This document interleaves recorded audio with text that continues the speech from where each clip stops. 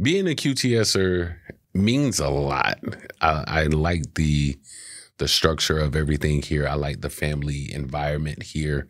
When I first started here, I, that was my ultimate goal. I, I, wanted to work for this company so bad. I was willing to be, even be a janitor. I did not care because I just like the environment. I love the camaraderie. I love the the kinship that everyone had with this company. So I just wanted to be a part of it. To me, being a QTSer is being something more than yourself. It's very team oriented culture and you just want to contribute to help the company be successful and to be a positive influence to not only QTS but the community outside.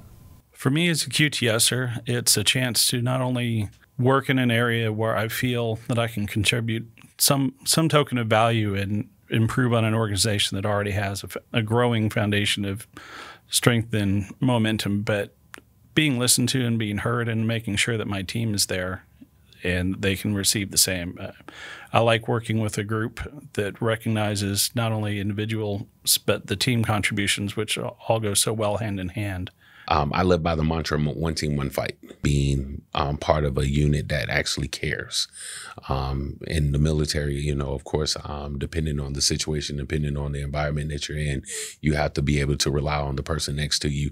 So to have that same type of environment here where people actually care, like genuinely care, not just, you know, putting on a facade, but they actually really care about your well-being is what drove me to want to be a part of this this company. No, I, I grew up in upstate New York as the youngest of 10 children, you know, and it was nine boys and one girl. And what my parents instilled in me is a work ethic, not just for ourselves, but for others. When I got into law enforcement, it was always the idea of serving others.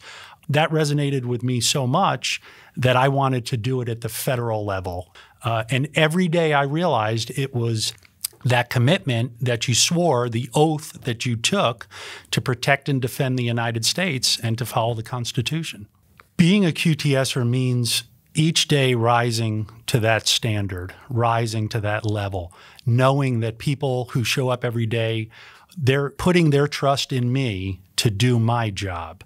So as a QTSer, it's realizing, you know, within my role, I am here to protect all the sites, all the people working at those sites, and all the information and technology that we house.